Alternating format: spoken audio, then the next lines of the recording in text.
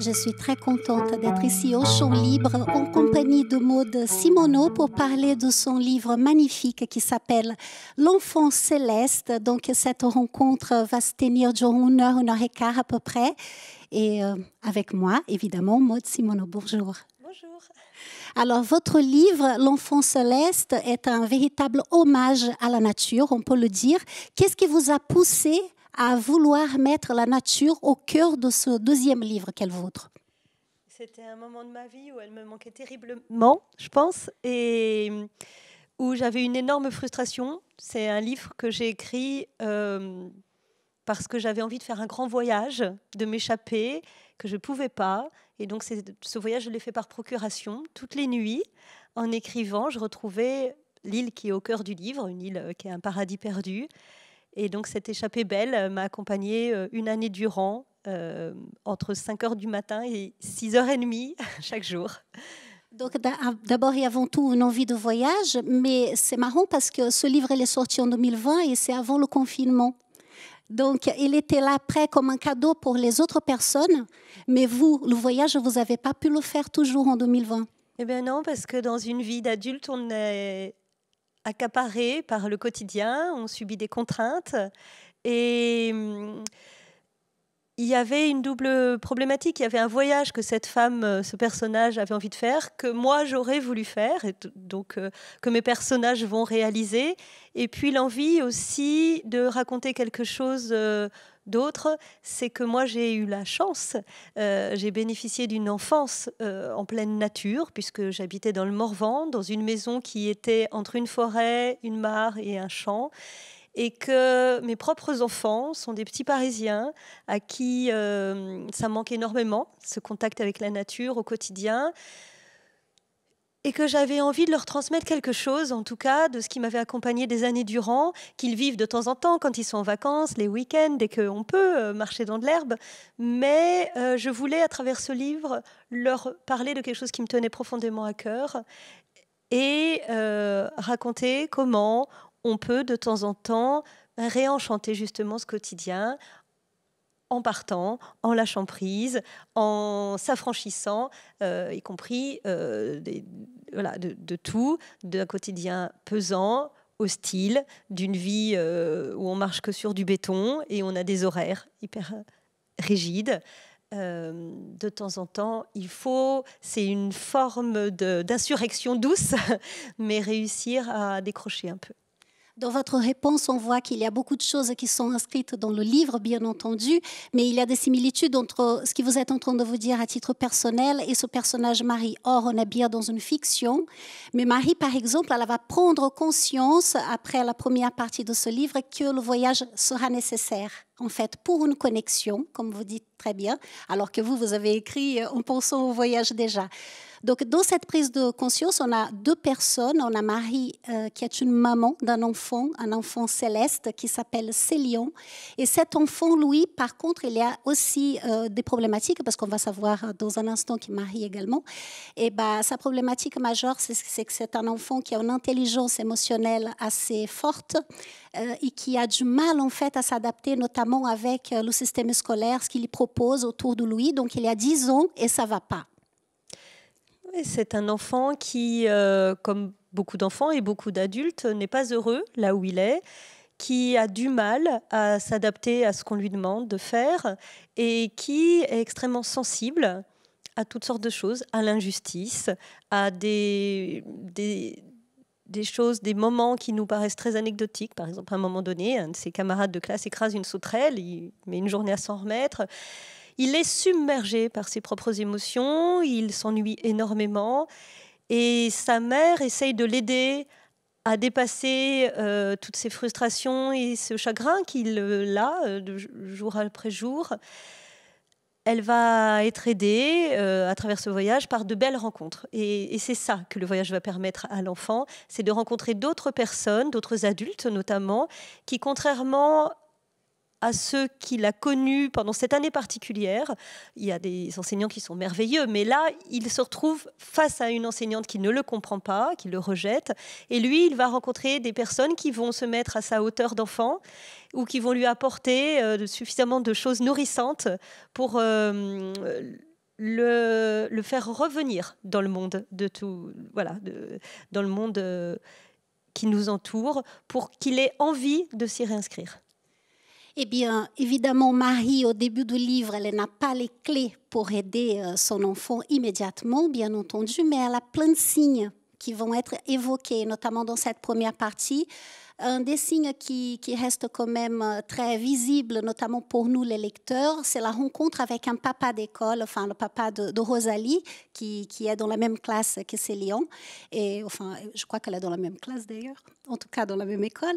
Et, euh, le papa qui, travaille, je crois, en tant que thérapeute, eh bien, il explique en fait à Marie, à un moment donné, au détour d'une conversation, que Célion n'est pas ni un enfant fragile, ni un enfant euh, dépourvu de, de ses capacités ou quoi, mais qu'il faut qu'elle apprenne effectivement à pouvoir euh, s'adapter tout en nageant contre courant. Oui, c'est une métaphore euh, qui, pour cette femme-là, à ce moment précis, est très éclairante puisqu'il lui dit, cet enfant, de toute façon, il y a la société autour de lui telle qu'elle est, il ne va pas pouvoir changer tout ça, donc il va falloir qu'il s'y adapte. Et il prend le, voilà, cette image de la personne qui est dans un, sur un bateau ou sur une planche à voile et qui va devoir apprendre, euh, non pas à prendre le vent frontalement, mais à remonter au vent. Et ça, ça va beaucoup l'aider. Et voilà, elle va chercher des moyens euh, pour que son fils puisse euh, petit à petit remonter au vent et, avancer. Alors, je peux me permettre, hein, c'est une remarque tout à fait personnelle, bien entendu, mais ça m'a fait euh, penser à Krishnamurti qui dit qu'il n'y a que les poissons morts qui, nagent au même, dans le même sens que le courant. Ça vous parle, ça peut-être? Oui, oui, oui. Bah, y a... Bah, c'est une autre métaphore à laquelle ça me fait penser. Il y avait un éditeur qui est euh, le, fondateur d'Actes Sud qui disait euh, Si on ne fait que suivre le sens du vent, on est comme des feuilles mortes. Je lis aussi clairement. Alors, juste avant de venir aussi vous présenter, vous, euh, je voulais parler un tout petit peu dans cette première partie du personnage de Marie, parce que Marie est en train de, bah, de traverser une tourmente euh, personnelle, et c'est peut-être ça aussi qui fait qu'elle n'a pas toutes les clés non plus pour accompagner son enfant à ce moment-là, c'est-à-dire qu'elle est en, pleine, euh, en plein moment de rupture amoureuse et très douloureuse parce que sans aucune explication. C'est dur ça, non? Un chagrin d'amour, euh, l'incompréhension, souvent, est quelque chose euh, de terrible, mais ça arrive la plupart du temps. Et oui, aujourd'hui, il y a des gens qui se font larguer par texto. Quoi. Est-ce que c'est quelque chose qui vous a inspiré pour que ça soit écrit ainsi dans votre livre? Je pense que c'est quelque chose que beaucoup de gens connaissent. Euh, dans tous les moments de notre vie, il n'y a pas forcément des explications. Tout n'est pas forcément lisible. Moi, de toute façon, je suis convaincue que l'amour est tout sauf une eau claire. Et donc cette femme est au moment le pire de sa vie personnelle, sans doute, parce que c'est un homme euh, qu'elle a beaucoup aimé, qui la quitte du jour au lendemain, en lui disant en plus quelque chose euh, d'extrêmement méchant. Et elle est euh, vraiment physiquement abattue. Elle n'a plus rien. Enfin, tout d'un coup, elle se retrouve démunie, mais elle a cet enfant. Et quand on a la charge d'un enfant comme ça, c'est Duras qui disait un enfant, ça oblige. Eh ben, elle ne peut pas se laisser aller. Et cet enfant qui va à la fois être une contrainte, c'est-à-dire qu'elle ne peut pas se rouler par terre, pleurer et se libérer comme elle le voudrait de son chagrin, et il va aussi l'obliger à euh, rebondir, à pousser du pied au fond de l'eau euh, pour euh, aller chercher de l'air. et, ça va être grâce à lui, pour lui, qu'elle va trouver la force d'aller mieux. Il y a aussi euh, le fait que, bah, à ce moment-là, il y a un autre chagrin qui revient à la surface, puisque être largué par l'homme, par Pierre, réveille quelque part, en étant mère, euh, un père qui n'est plus. Alors, elle va voir sur les conseils d'une amie, euh, une psychanalyste. Elle n'y croit pas du tout à la psychanalyse. Elle va ressortir très en colère de ces séances et ça va pas. Elle va avoir l'impression de ne pas avoir eu grand-chose euh, de, cette rencontre avec cette thérapeute, mais il y a quand même une phrase qui la remue, qu'il la questionne en tout cas, puisque la psychanalyste lui dit Avez-vous déjà eu la sensation d'être abandonné et évidemment, dans ces moments de grand chagrin intense qu'on vit dans nos vies d'adultes, euh, c'est très banal, ça fait remonter des failles, des douleurs de l'enfance.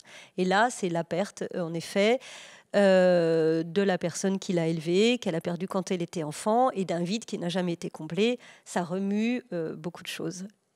Mais elle est aussi encore un signe très fort qui apparaît dans cette première partie dans le livre. Elle a deux ressources et elle va retrouver sa maman. Et là aussi, une autre similitude avec vous, Maude, c'est que euh, ça se passe dans le Morvan.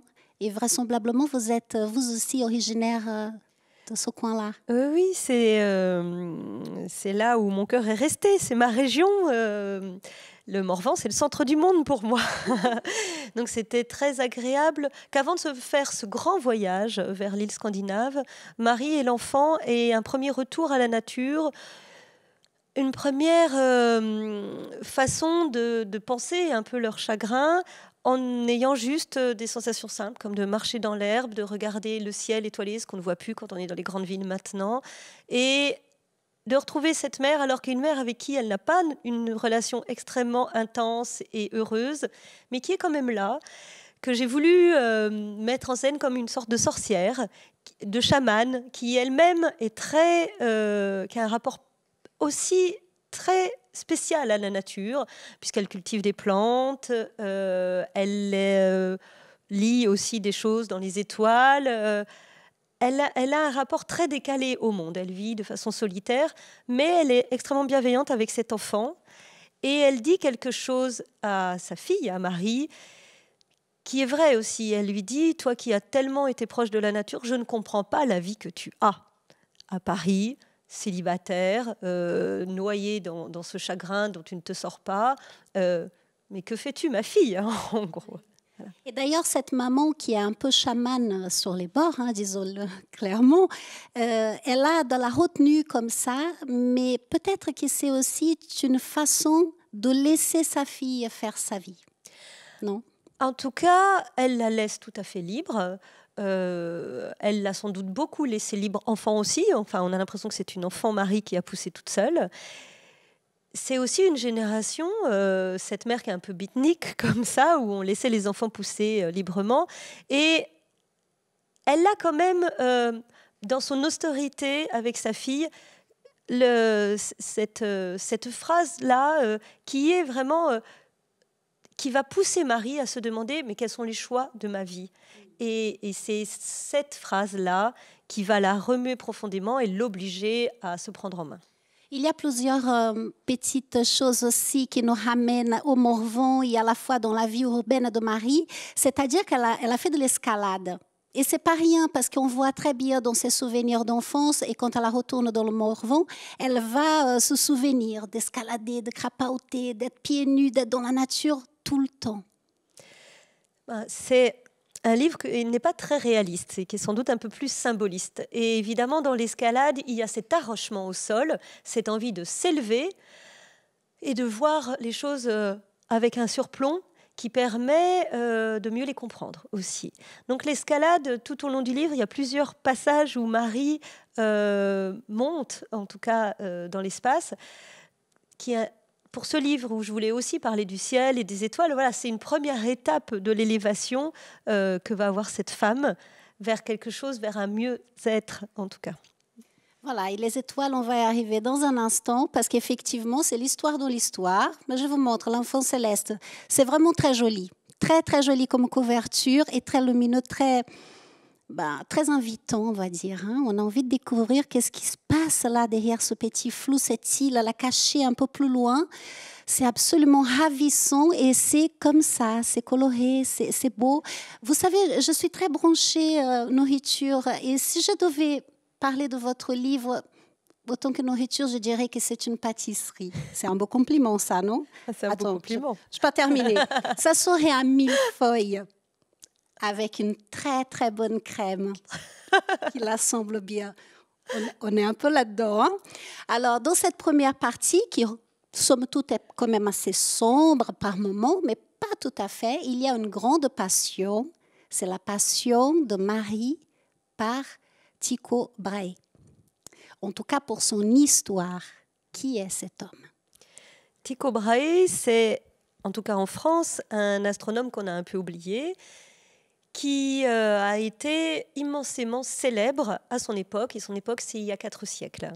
C'est un contemporain de Shakespeare, ça aura, ça aura une utilité plus tard dans l'histoire, et il était un prince au royaume du Danemark qui aurait dû normalement avoir une vie euh, très euh, calquée sur celle de son père, de son grand-père et de, ses frères. Il aurait dû épouser une princesse et vivre à la cour du roi et devenir des, voilà, une des, des, personnes les plus puissantes du royaume. On parle dans les années 1500. C'est ça, c'est à la fin du XVIe siècle. Mais il... Euh, il est lui-même un enfant en marge. Et très jeune, il a la chance de voir dans le ciel une comète passer. Il va avoir un déclic, il était extrêmement doué en sciences et il va vouloir se consacrer à l'étude du ciel. Il a 15 ans, il a 16 ans, il va euh, faire des études pour et on va le laisser avec des réserves, mais quand même euh, faire ces études-là. Il va se montrer tellement se montrer tellement brillant que très vite, il va avoir les meilleurs précepteurs, il va pouvoir aussi, euh, un peu comme Léonard de Vinci l'a fait, construire des instruments.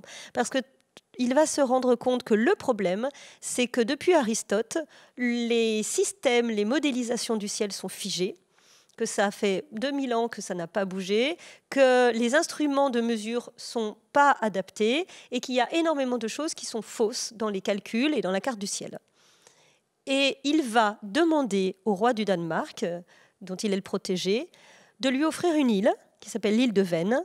Sur cette île, qui est donc euh, préservée euh, de toutes les sources de lumière, qui va être un tout petit peu euh, au large du Danemark, juste en face du château d'Elseneur, qui est le château d'Hamlet, sur cette île, il va construire ni plus ni moins que le plus grand observatoire du monde.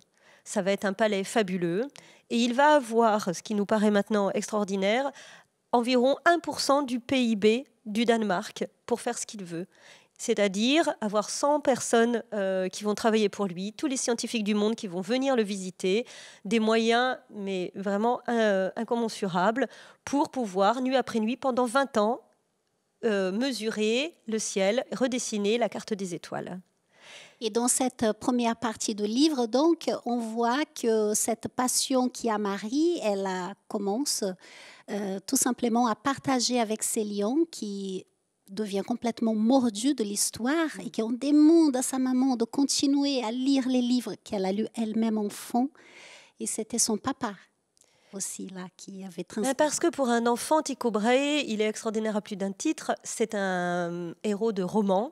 Il a une vie incroyable. Euh, quand il avait une vingtaine d'années, il s'est battu en duel, un peu comme Évariste Galois, euh, le mathématicien, pour des raisons euh, scientifiques. Il est opposé à quelqu'un et il va avoir le nez coupé dans ce duel. Il va avoir une prothèse en or. Donc ça déjà, ça, paraît extrêmement rocobalesque. Et ensuite, quand il sera sur l'île, il va avoir une vie tellement libre. Il est toujours avec euh, sa horde de chiens, euh, un rapace sur l'épaule.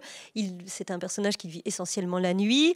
Et il a comme meilleur ami deux... Euh, de personnages, euh, un nain qui s'appelle JP, qui était, euh, dit-on à l'époque, capable de lire l'avenir, lui aussi, qui avait des pouvoirs particuliers, puisque Tycho Brahe est alchimiste, il croit beaucoup, il est astronome, mais il est aussi astrologue, à l'époque tout est mélangé, et Tycho Brahe va avoir comme deuxième euh, être proche un élan qui le suivait partout, qui mangeait euh, aussi avec eux euh, dans les repas fastueux qu'il organisait dans son palais, et qui était un élan alcoolique, qui avait ses propres, euh, non mais c'est incroyable, sa propre chambre, ses, appartements dans le château, et qui un jour est mort de façon terrible et aussi voilà qui marquante, puisque sous il est tombé dans l'escalier menant à ses appartements.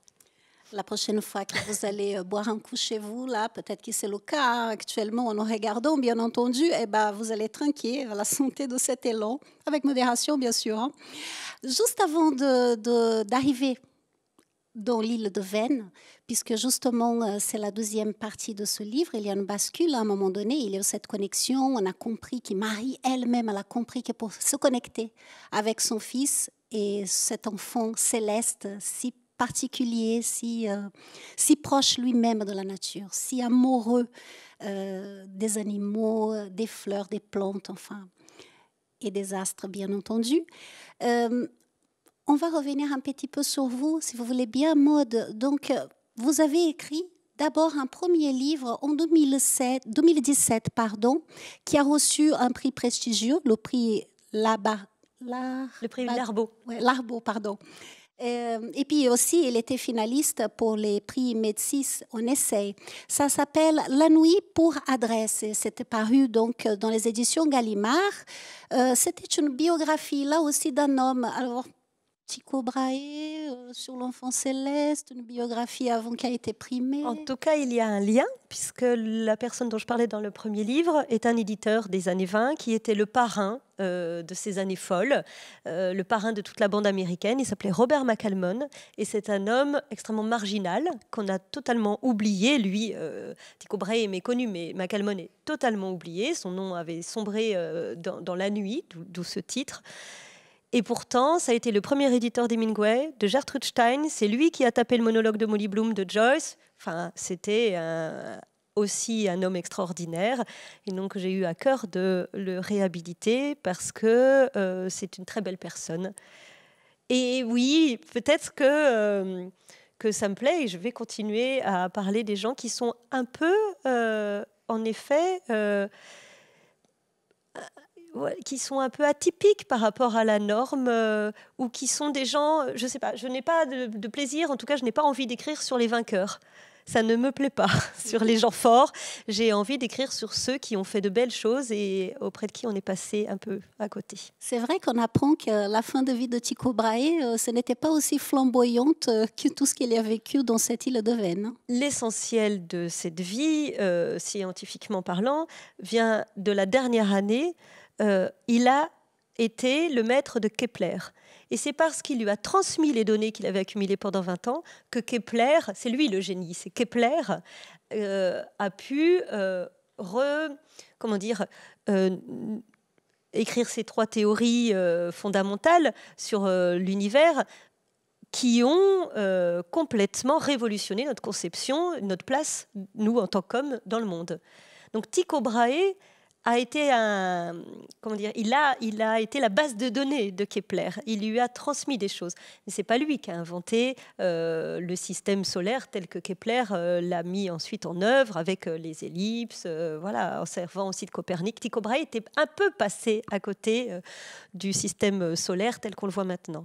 Mais mais il a été fondamental. Heureusement, c'est une des très belles rencontres de l'histoire, cette dernière année qui a permis de les, voilà, de les voir travailler ensemble et de, encore une fois, euh, permettre cette transmission. Mais c'est vrai qu'il y a quelque chose quand même qu'il faut souligner, c'est que dans le livre euh, L'enfant céleste, euh, il y a ces histoires, il y a l'histoire de, l'homme, des hommes, mais il y a surtout une histoire magnifique, très forte, la force des femmes. Elles sont toutes magnifique dans ce livre, quand même, ces femmes, non? Que ce soit Marie, Solveig, la maman, il y a un truc.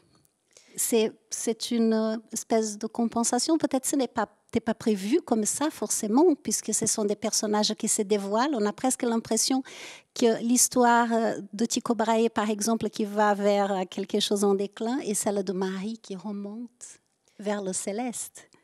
Alors, J'espère que Solveig est une femme euh, agréable. En tout cas, euh, quand on a un grand chagrin d'amour, il y a toutes sortes de choses qui aident, mais l'amitié, évidemment, est un socle très euh, fondamental. Et l'amitié, ça peut être une amitié masculine ou féminine. En l'occurrence, là, c'est une femme et une femme forte qui est campée sur ses deux jambes, qui est une sorte de géante, euh, comme on voit des fois ces femmes en Scandinavie qui sont telluriques, euh, très impressionnantes, qui vivent aussi euh, au plus près de la nature, qui n'ont jamais peur ni du froid ni des éléments. donc c'est une femme aussi particulière parce qu'elle vient d'une île et que les gens euh, qui vivent sur des îles et qui sont confrontés en permanence aux éléments, il faut imaginer ce que c'est que d'avoir toujours la mer, le vent et le ciel au-dessus de sa tête. Elle et d'être coupée du reste du monde comme elle l'est, euh, ça forge un caractère. Et c'est une fille de pêcheur, euh, elle-même, euh, elle, a monté son affaire toute seule. voilà. C'est une femme très forte et, et, ça me plaisait que ça soit un peu comme une ombre portée sur ce qu'est Marie, qui est une citadine un peu en perdition, voilà, qu'elle lui donne un, cap. Mais il n'y a pas que des femmes qui sont belles dans, ces rencontres. Parce que des Sainte, par exemple, est quelqu'un qui, à sa manière, va l'aider aussi. Mais là, on est déjà arrivé dans l'île. Je termine je boucle juste euh, le côté euh, que je voulais mettre en avant, en fait, de vous et de votre travail, puisque vous êtes là dans la casquette autant qu'auteur, mais vous êtes aussi éditrice. Donc, euh, le livre, c'est votre univers, tout simplement. Et vous êtes membre du comité de lecture chez Gallimard. D'où est-ce qu'il vient toute cette passion? C'est quoi votre parcours? Pourquoi vous êtes là aujourd'hui? Hmm je ne sais pas, il faudrait remonter à l'enfance. Euh, je viens d'une famille où il n'y avait pas de livres, mais euh, où euh, très vite, mes parents, encouragés par les enseignants, m'ont emmené à la bibliothèque. Donc je dis toujours, mais c'est vrai que je dois tout à l'école de la République et aux bibliothécaires. Je n'ai jamais quitté les bibliothèques jusqu'à aujourd'hui. Maintenant, il y a aussi les librairies, mais je vais toujours en bibliothèque. Et pour des gens comme moi, qui n'avaient pas euh, ces bibliothèques personnelles ou cette transmission de leurs parents, ça a été un monde qui s'est ouvert et que je n'ai jamais euh, cessé d'arpenter. Donc, c'est vraiment une passion euh, qui m'est venue naturellement et parce que j'ai rencontré des personnes qui m'ont donné des livres à lire, que j'ai eu ça entre les mains et que j'ai plus jamais eu envie d'avoir autre chose euh, au quotidien. Ensuite, c'est une vie faite de hasard, c'est-à-dire que euh, j'ai pas fait les études pour euh, ça, j'ai fait plutôt des études scientifiques, donc euh, j'ai sans arrêt louvoyé. Mais il se trouve que l'édition, c'est pareil, c'est un métier dont je n'avais. Donc j'encourage les élèves à faire des stages parce que je n'en avais jamais eu l'idée avant qu'on me propose un stage dans l'université où j'étais, et puis que ça me plaise, et que ensuite je fasse plein de stages, et que je monte à Paris, puisque je venais de province. Euh, on dit qu'il y a le milieu social, mais il y a aussi la géographie pour l'édition qui est un frein plus on est loin du lieu où ça se passe, et pour l'édition, il n'y a que Paris, comme pour beaucoup de choses euh, dans la culture, euh, mais pour l'édition, c'est bien plus prononcé qu'ailleurs, euh, plus c'est compliqué, et, de rencontre en rencontre, je suis arrivée jusque chez Gallimard, qui est une très jolie maison, très épanouissante, où, où je peux publier de beaux auteurs et avoir le temps de travailler avec eux, ce qui devient rare. Voilà. Oui, c'est vrai que vous avez une actualité particulièrement euh, intéressante à souligner avec un premier roman d'un auteur euh, prometteur, non, qui avait envoyé son manuscrit euh, chez Gallimard comme ça, comme qui ne, qui ne croit toujours pas d'ailleurs qu'il va être ah. édité. En fait, là aussi, c'est quelque chose d'important à dire. on reçoit 8000 manuscrits par an chez Gallimard. Et sauf exception, la plupart des premiers romans que je publie viennent de de ce qu'on a reçu par la poste. Ce sont des gens que je ne connaissais pas du tout. Et euh, je suis là surtout pour ces premiers romans, pour trouver des, ce qu'on appelle nouvelles voix, et quatre ou cinq fois par an. Je publie des auteurs euh, dans la maison qui n'avaient jamais eu euh, de livre auparavant. Et ce sont toujours de très belles rencontres. Et oui, bah, j'imagine que, que, c'est quelque chose d'envoyer son manuscrit à l'aveugle et que ça se transforme en livre voilà, quelques élus parmi ces 8000 manuscrits, euh, quand même. En tout cas, ils sont lus, ils sont tous lus. Et, je pense que si un livre est bon, il finit toujours par être publié. Il y a beaucoup d'éditeurs euh, qui cherchent de bons livres. Voilà.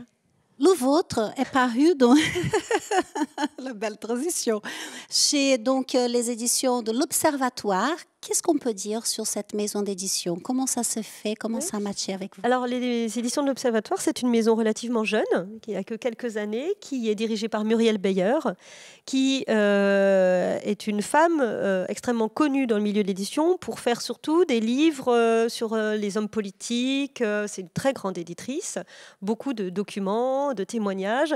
Et elle a cette collection où euh, pour l'instant il y a très peu de livres, qui ont, il, y a une dizaine de livres par an, donc peut-être que maintenant c'est 40 ou 50 livres, avec euh, beaucoup de livres euh, étrangers Donc du coup, en français, je viens un peu au début de cette, de cette histoire-là. et ça me plaisait d'être publié dans une maison jeune, avec une équipe elle-même extrêmement jeune, très dynamique, enthousiaste. ça contrastait beaucoup avec, ça me permettait de faire vraiment la part des choses avec mon métier dans une maison qui a plus d'un siècle, qui est un énorme paquebot comme ça. Et l'observatoire, en plus, on n'y a pas du tout pensé avec euh, Dana Burlac, qui est mon éditrice. Ce sont les gens, quand on leur a raconté l'histoire de l'astronome, euh, qui ont dit Bah oui, bah, publier l'observatoire, ça s'imposait. C'était très drôle. c'est vrai que c'est pas mal du tout. Et donc maintenant, on va peut-être euh, monter dans le bateau avec Célion et Marie pour partir à l'île de Vent. Vous êtes d'accord? Très bien. Une histoire qui se raconte quand même à deux voix. Vous avez écrit à la fois pour Marie, mais aussi pour Célion. Pourquoi? Je voulais pas que ça soit que l'histoire d'un chagrin d'amour. L'essentiel du livre, c'était surtout l'histoire de cette mère et de cet enfant. Et il me semblait important qu'il y ait la voix de l'enfant qui vienne pondérer un peu les propos de la mère, qui n'est pas la même approche de la nature. Elle, elle est quand même euh, pétrie de sa culture euh, intellectuelle, livresque. À chaque fois qu'elle voit un bouquet de fleurs, ça lui fait penser à un livre qu'elle a lu. Enfin, elle est comme, j'exagère un peu, mais elle est quand même toujours euh, en train de, de réfléchir et elle a une distance à la nature qu'elle n'avait pas quand elle était enfant. Et c'est à travers le regard de son enfant, qui est un regard sans filtre, beaucoup plus poétique, simple et juste sur la nature, qu'elle va retrouver euh, ce lien direct, qu'elle va euh, revivre de façon sensuelle. Mais ça va être euh, tout un cheminement. Donc, je trouvais ça intéressant, un peu comme dans un tableau, tableau cubiste, que pour des mêmes scènes, ça soit raconté par la mère et qu'il y ait le regard de l'enfant. Par ailleurs, euh, moi, il n'y a rien qui me fascine plus que les. Voilà, sans, tomber dans la mièvrerie, que les paroles d'un enfant sur ce qu'il voit. Il y a des convocations d'images, euh, des choses, des mots d'enfants qui sont euh, extraordinaires. Euh, ils, ont des associations d'idées qu'on perd ensuite parce qu'on est beaucoup plus normé dans, nos cheminements de pensée euh, que, non, que ne gardent que les artistes et les poètes. Et je trouvais ça assez joli qu'il y ait cette voix de l'enfant régulièrement qui vienne ponctuer, comme de petits poèmes en prose, la logorée de la mer. Vous avez dit un mot très important parce que, alors si je peux me permettre, en tant que lectrice, il y a un mot qui ne s'associe pas du tout à ce livre, c'est mièvre. non, non, non, on n'est pas là-dedans. Pourtant, c'est un livre qui, euh, je, je, parlais tout à l'heure de, de pâtisserie, mais non, non, on n'est pas là-dedans, on n'est pas dans, dans quelque chose de triste, au combien on est dans quelque chose qui va nous, nous porter, nous faire de bien. Vous savez quel est le bon moment pour lire ce livre? Parce que j'ai vu dans la presse, il y a des gens qui ont lu pendant l'été, à la rentrée, il faisait beau, ils avaient envie d'être dans l'île, etc. Ben non, je pense que c'est maintenant qu'il faut le lire. Un dimanche comme ça, il faut s'accorder ce temps de voyage, ce temps pour soi-même et vivre ce livre parce que le matin, en ce moment, quand on se réveille, le lundi, tôt pour aller au travail, on peut écouter déjà le chant des oiseaux. Et là, je peux vous assurer que c'est toute la semaine qu'on va passer une semaine extraordinaire. Merci beaucoup. Donc, on part dans l'île de Vent. C'est une île que vous connaissez personnellement? Alors non, je n'y ai jamais mis les pieds. Euh, je l'ai euh, longée en bateau. J'ai travaillé euh, quelques années à Oslo et quand on fait euh, du bateau entre Oslo et Copenhague, on longe euh, l'île de, on dit Vennes en réalité, on, longe l'île qui est maintenant une réserve naturelle où il y a juste quelques maisons et où essentiellement les gens font du vélo. Ils viennent là pour se balader. Euh, alors en réalité, je crois que si on devait y aller et faire du vélo, elle est plus petite que l'île telle que je l'ai fantasmée euh, dans le livre, puisque Marie et Célian passent leur journée euh, à faire des kilomètres et des kilomètres, euh, le vent dans le dos, voilà, à admirer toutes les mm, parties de cette île, à la cartographier. C'est une île relativement petite. magnifique. Elle est vraiment atypique parce qu'elle a des falaises comme ça, où euh, la forêt s'approche jusqu'au bord de la falaise et tout d'un coup, on est, euh, ça chute dans, une eau, c'est la Baltique, donc une eau qui est relativement sombre. Et quand on longe cette île, on a envie d'y aller parce que ce sont des, des, falaises qui sont claires, des ocres, des blancs. Et il y a le vert de cette forêt, les couleurs, le bleu, l'ocre et les forêts, tout de suite, c'est très, très, très attirant. Ça y est, elle a commencé déjà à nous décrire. On est en train de plonger dans la nature parce qu'ils vont arriver. Et puis ces lions, euh, alors spiègle comme il est, il va euh, pouvoir jouir d'une liberté totale dans cette île. Il peut sortir, euh, faire la connaissance de cette nature, être parfaitement dans son élément et ça va l'épanouir. Mais on a quand même ce sentiment quelque part qu'il est entrant, parce qu'il va rentrer en sixième, hein, quand peut-être, peut-être, va revenir. La question se pose à un moment donné. Eh bien, on a le sentiment qu'elle est en train de comme traverser avec sa maman. Elle lui a proposé un rite initiatique. Hmm. Euh, parmi tout ce qu'il euh, trouvait très difficile à vivre, il y avait les horaires. Avoir une montre, garder une pendule, être sans arrêt obligé de se dépêcher ou au contraire d'attendre des heures interminables euh, à l'école c'était quelque chose vraiment euh, physiquement pour lui euh, insurmontable. Et là, elle va lui offrir non seulement l'espace de cette île où il va pouvoir se promener librement, mais le temps aussi. Ces journées sont divisées par le soleil et la lune. Et ça, euh, pour lui, ça va être quelque chose tout d'un coup là aussi, euh, son, corps d'enfant de 10 ans euh, va pouvoir être pleinement en phase avec la nature, les, journées, le temps euh, qui va passer pluvieux, les rayons de soleil, il va tout prendre sur, voilà, sur son visage et il va pouvoir respirer. C'est un enfant céleste, n'oublions pas ça avec euh, sa maman ils vont donc partager des moments de bonheur comme ça et ça aussi va grandement favoriser en fait à, cette connexion de Marie avec ce qu'elle est, avec la nature et avec euh, ce qu'elle a envie de faire finalement, ce qu'elle a envie de devenir, de faire de tout ce matériau-là et ce chagrin d'amour qui commence à se dissiper, commence à partir. Grâce notamment à des rencontres aussi.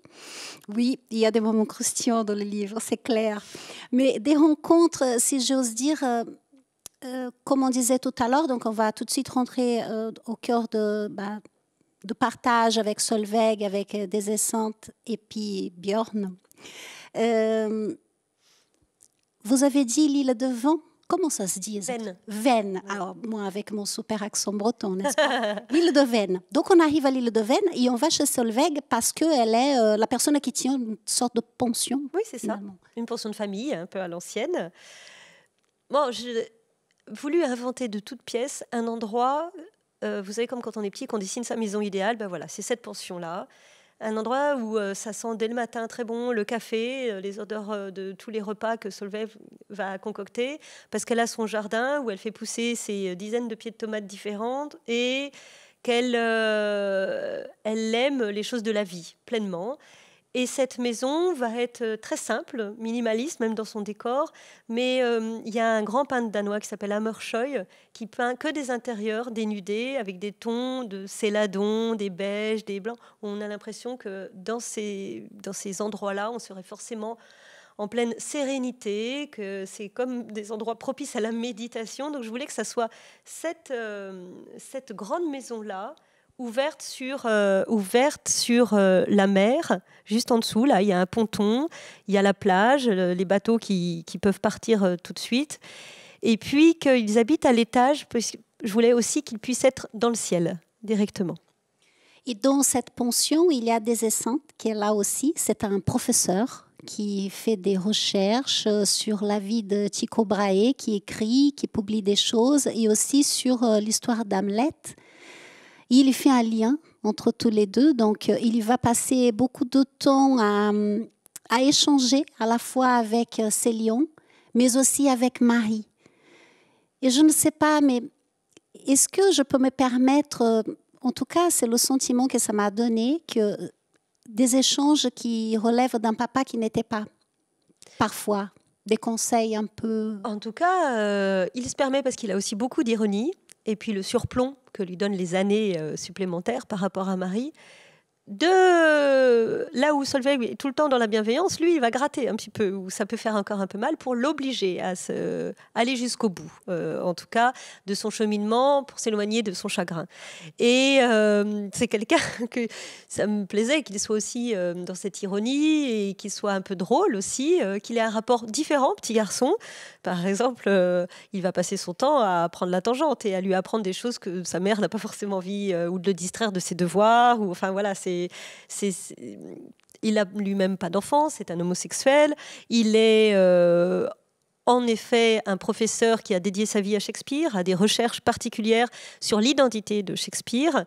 Et la narratrice l'appelle tout de suite Désessainte, elle aussi pour se moquer un peu de lui, parce qu'il est toujours euh, habillé de façon impeccable, c'est un dandy, euh, donc c'est un vieil esthète anglais.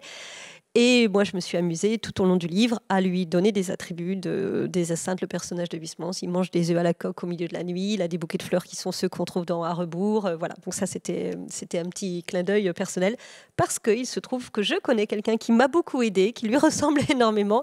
Et je trouvais ça intéressant que cet homme-là ne parle aussi que par citation, quasiment on a tendance à se moquer des citations euh, ou alors à en faire euh, des choses euh, vraiment vides de, sens, à les utiliser pour des marques de lessive ou n'importe. Mais des essaites, elles sont toujours disséminées à très bon escient.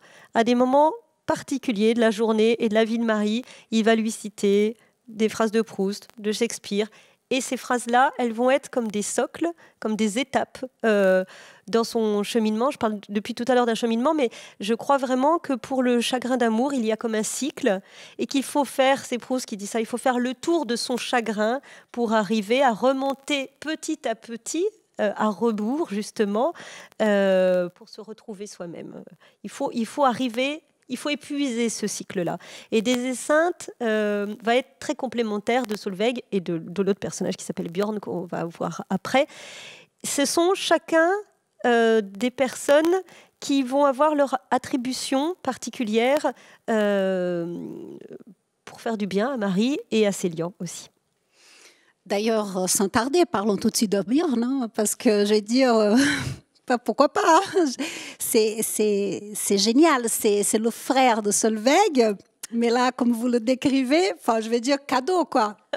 Super Le beau viking qui arrive, tes œufs un peu sur les bords, qui participe des soirées agréables, etc. Et hop, ni vu ni connu, la sensualité fait son chemin. D'abord, je crois qu'il faut s'amuser aussi quand on écrit, et que c'était juste parfait.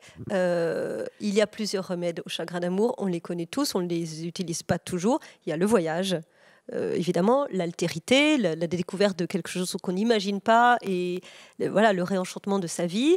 Il y a la lecture. Moi, j'ai lu énormément de livres qui parlaient de chagrin d'amour, de, je vais dire Daniel, Noah Duras, tous. J'ai lu 300 000 livres euh, et ça aide évidemment aussi de voir euh, ce que les gens ont déjà vécu et comment ils ont réussi à dépasser leur chagrin. Il y a l'amitié dont on a parlé tout à l'heure, le contact avec la nature.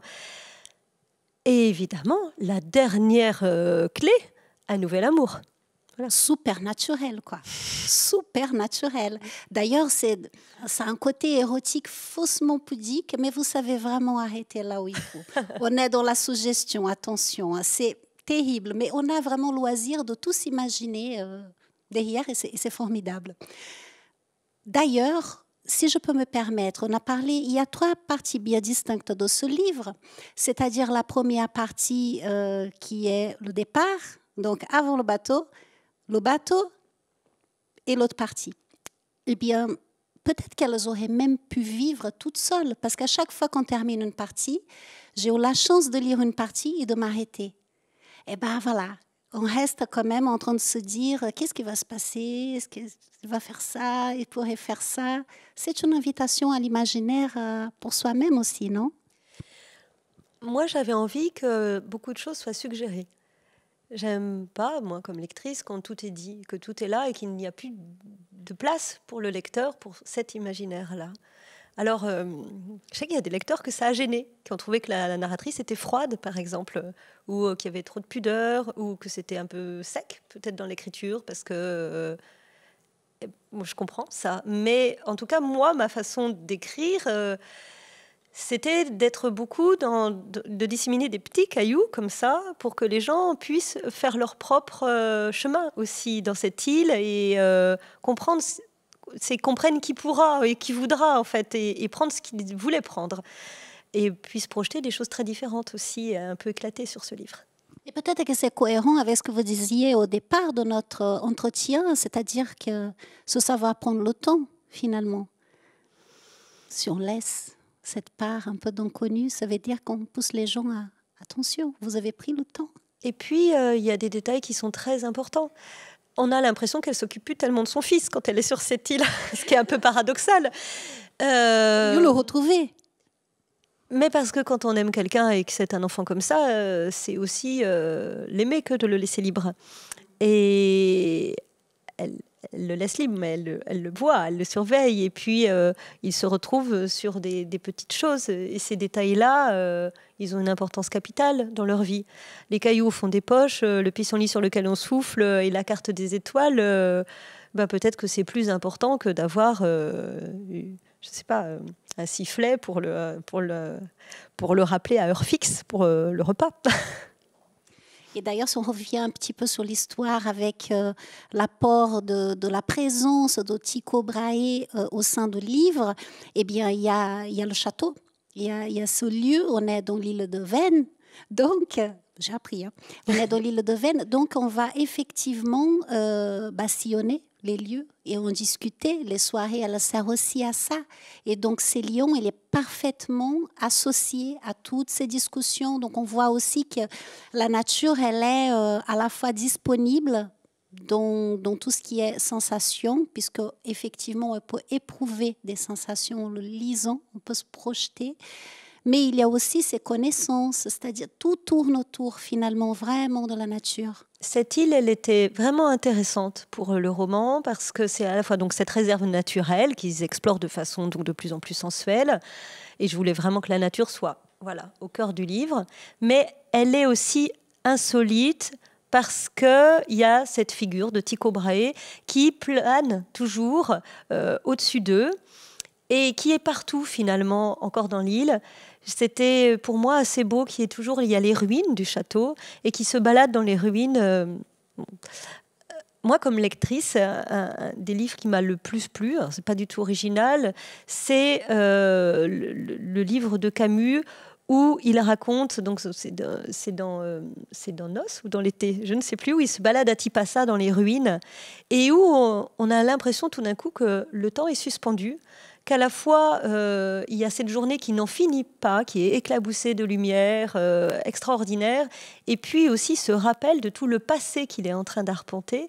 Et j'ai toujours été troublée par, euh, par ça quand on se retrouve dans des ruines, d'avoir à la fois l'impression qu'on est dans le moment présent et qu'on est forcément projeté dans un temps qui n'existera plus jamais et dont on, a, dont on éprouve profondément la mélancolie.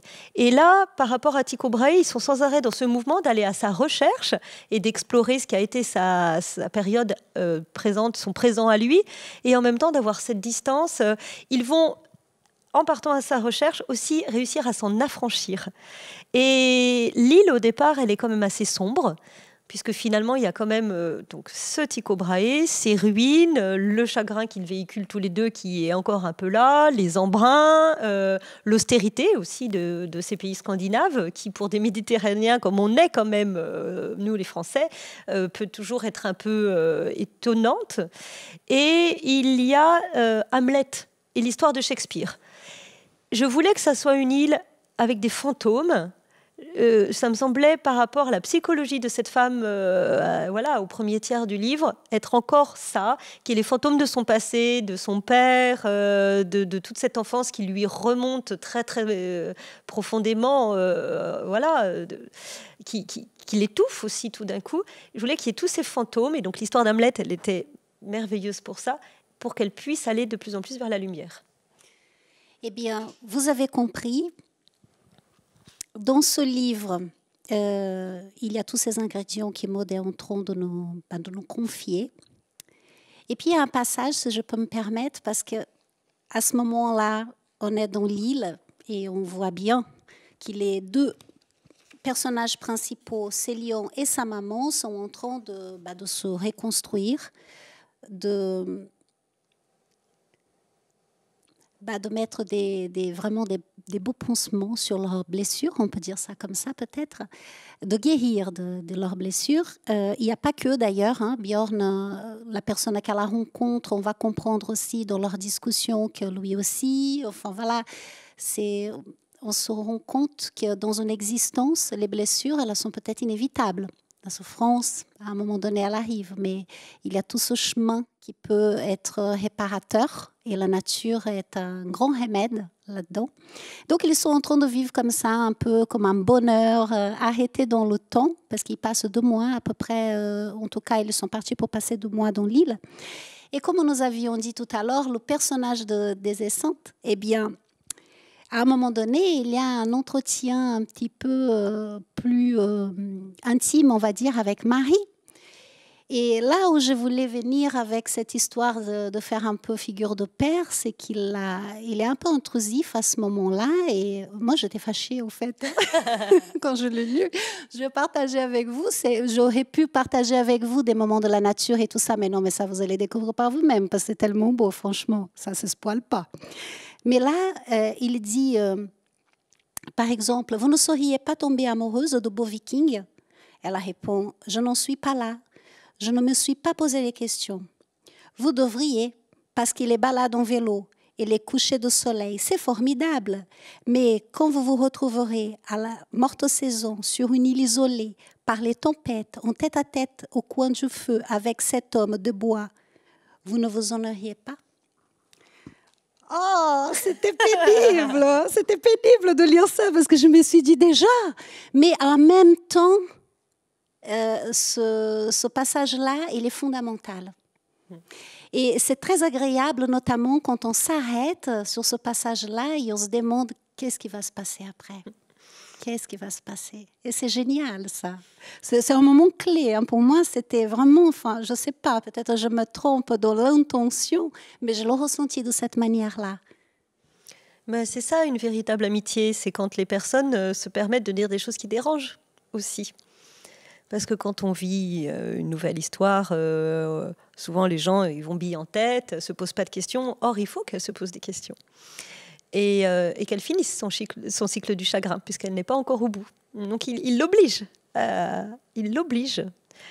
Et bon, il le fait à sa manière, qui est un peu brutale. parce que. Ça pas fâché. Hein. Voilà, non. Ça n'a pas fâché. Elle comprend que c'est de l'affection aussi. Oui, certainement. Alors, euh, dans cette découverte, il le fait qu'elle est en train de, bah, de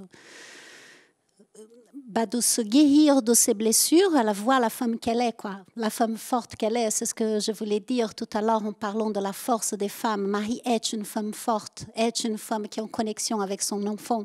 C'était euh, effectivement un passage de sa vie qui tout être humain peut en fait traverser. Et, du coup, elle se redécouvre en tant que femme forte et elle sait ce qu'elle va faire. C'est une évidence. Je pense, je ne sais pas, alors je voudrais bien savoir, est-ce qu'il y a eu un moment où il fallait hésiter ou est-ce qu'on devait sentir qu'elle a hésité? Parce que j'ai le sentiment que non. Ah non, je crois que depuis le départ, euh, il a toujours été prévu qu'ils reviennent de l'île. Euh, l'île, c'est une étape dans leur vie j'avais pas envie que ça soit euh, tout quitter pour vivre ailleurs.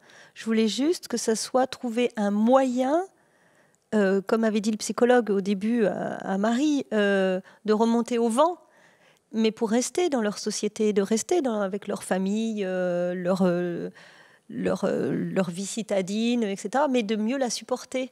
Et ben, ils auront ce bagage des deux mois dans l'île, où ils pourront retourner autant qu'ils voudront, mais ça va les aider. Et justement, ils vont donc quitter l'île, c'est Maud qui l'a dit, hein, c'est pas moi. Un dernier arrivage, c'est la troisième et dernière partie de ce livre magnifique. Et ils vont partir, mais ils vont partir de l'île, mais c'est c'est beau, c'est pas triste, c'est gai, c'est joyeux, c'est top, c'est bien. Mais on se demande quand même. Alors c'est ça, quand on lit les parties, qu'est-ce que c'est agréable de terminer cette partie de l'île et de se dire qu'est-ce qui va se passer en fait? Fait, moi, j'ai été portée par euh, une chanson, qui est une chanson de Barbara, qui s'appelle euh, Que ma joie revienne, où elle joue avec l'histoire sans cesse, où, où, elle parle à un nouvel amour et elle lui parle de son ancien chagrin d'amour. Et elle lui dit euh, Je vais euh, réussir à m'en départir, je vais euh, pouvoir t'aimer pleinement, etc. Et puis elle reprend et elle revient en arrière. Mais elle raconte, il y a ces phrases magnifiques Il est, paraît-il, un rivage où l'on guérit du mal d'aimer. C'est pour ça que ça s'appelle le dernier rivage. Et elle parle d'un pays où meurt la peine. Et donc pour moi, c'était l'île de Venne. Voilà. Je vois bien, parce que c'est vrai qu'à la fin du livre, on voit euh, les recherches que vous avez faites. Vous citez Barbara, entre autres. Effectivement, euh, vous avez beaucoup travaillé pour euh, faire ce livre. Ce n'était pas que l'histoire de Marie. En fait, c'est pas du travail, c'est juste que comme une éponge, à un moment donné où j'ai eu, comme tout le monde, un chagrin d'amour, eh bien, euh, le refuge le plus immédiat pour moi, c'était les livres, à nouveau. Donc, euh, et certains plus que d'autres. Euh, donc, je les cite à la fin. ce sont des amis. et Barbara, qui n'est pas un écrivain, a été aussi extrêmement précieuse à traverser des moments. Très bien. Donc, écrire la nuit, ça veut dire quoi? Ça veut dire que, contrairement à Virginia Woolf, je n'ai pas une chambre à moi et que le seul moment où je peux avoir un lieu qui ne soit que pour moi, où je ne sois pas dérangée, c'est un moment que je m'octroie la nuit. Et je pris ce rythme depuis 5-6 euh, ans, euh, mais qui ne me coûte pas, parce que je ne dors pas beaucoup.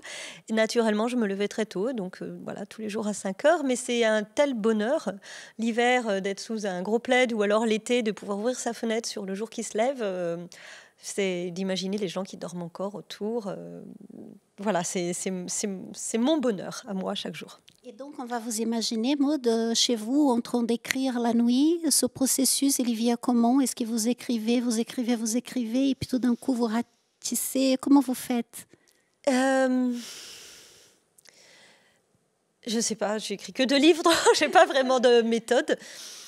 Euh, il n'y a pas de méthode forcément, mais comment vous l'avez vécu Les deux livres sont très différents. Le premier, j'avais passé dix ans à faire des recherches pour Macalmon pour essayer de. Donc j'avais énormément de, énormément de notes. Et donc c'est à partir de cette masse énorme que j'en ai sorti le livre. Et celui-ci, il est venu de façon très linéaire. J'ai raconté vraiment euh, ce chemin tel, tel qu'il est, euh, maintenant lisible, avec ces étapes-là où je moi-même, j'avançais dans l'île en même temps que les personnages je, voilà, il a fallu finir à un moment. Euh, et, c'était très agréable de finir euh, dans cette clarté-là. Et aujourd'hui, qu'est-ce que c'est la nature pour vous, Maude